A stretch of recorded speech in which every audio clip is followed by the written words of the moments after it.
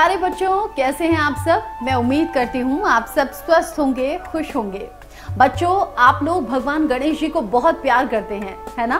कितने भोले भाले और अच्छे दिखते हैं भगवान गणेश जी। जो लोग गणेश जी की सच्ची भक्ति करते हैं, भगवान गणेश उनके सारे बिगड़े काम बनाते हैं।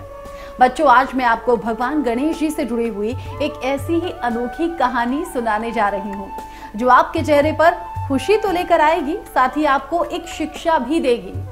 बच्चों, ये कहानी गणेश जी की शादी से जुड़ी हुई है। चलिए, आज मैं आपको ये गणेश जी के विवाह से जुड़ी हुई कहानी सुनाती हूँ। इसे ध्यान से सुनिएगा। भगवान गणेश अपने बचपन से ही काफ़ी चंचल स्वभाव के थे। उनकी सवारी मूषक है। विघ्नहर्ता श्री गणेश जी को मोदक, यानी कि लड्डू, खाने में सबसे ज़्यादा प्रिय हैं।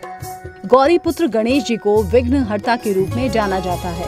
भगवान गणेश को एक दंत कहा जाता है। उन्हें लंबोदर रूप में पूजा जाता है।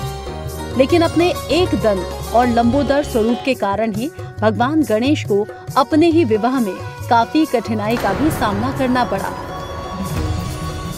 भगवान गणेश इससे इतने नाराज़ हुए कि वो बाकी अन्य देवताओं के विवाह में भी परेशानियाँ खड़ी करने लगे। असल में गणेश जी के गज मुख में दो दांत थे, लेकिन एक बार भगवान परशुराम ने गुस्से में आकर उनका एक दांत फरसे से काट दिया था, जिस कारण से उनका एक ही दांत रह गया। इस घटना के बाद से गणेश भगवान को एक दंत या वक्र तुंड कहा जाने लगा। वही उन्हें लंबोदर इसलिए कहा गया क्योंकि बचपन में वो दिन भर अपनी माँ पार्वती का दूध पीते रहते थे। ये देखकर प्रेम भाव में उनके पिता भगवान शिव ने उन्हें कहा कि तुम इतना दूध पीते हो कि कहीं लंबोदर ना हो जाओ। इन्हीं घटनाओं के बाद से गणेश भगवान को एक दंत और लंबोदर पुकारा जाने लगा। लेकिन उनके इसी एक दांत और लंबोदर रूप के कारण उनसे कोई विवाह करने को तैयार नहीं था। भगवान गणेश इस बात से रूठ गए। उनकी नाराज़गी इस कदर बढ़ी कि भगवान गणपति अपनी सवारी मूषक की सहायता से दूसरे देवताओं के विवाह में बाधा पहुँचाने लगे। थक हार कर सभी देवताओं ने अपनी समस्या जाकर ब्रह्मा जी से कही। ब्रह्मा जी ने सभी देवताओं की बात सुनकर गणेश जी की समस्या का समाधान निकालने के लिए अपनी दो पुत्रियों, रिद्धि और सिद्धि को गणेश जी के पास शिक्षा ग्रहण करने के लिए भेज दिया।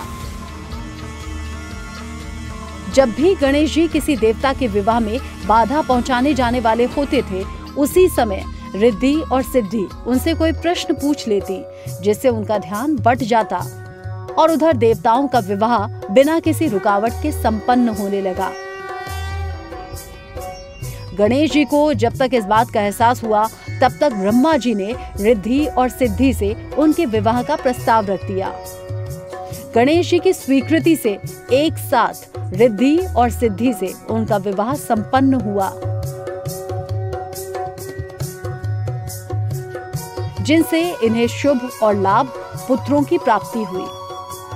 तो बच्चों, इस तरह से श्री गणेश जी की शादी हुई। इसकी सबसे ज़्यादा खुशी देवताओं को हुई, क्योंकि अब उनकी शादियों में गणेश जी ने परेशानी खड़ी करनी बंद कर दी थी। तो बच्चों, है ना, भगवान श्री गणेश की शादी की कहानी रोचक। और मज़ेदार। ऐसी ही भारतीय सनातन धर्म से जुड़ी हुई अद्भुत और शिक्षा देने वाली पौराणिक कथाएँ लेकर हम फिर से हाजिर होंगे। तब तक के लिए मुझे दीजिए इजाज़त। नमस्कार।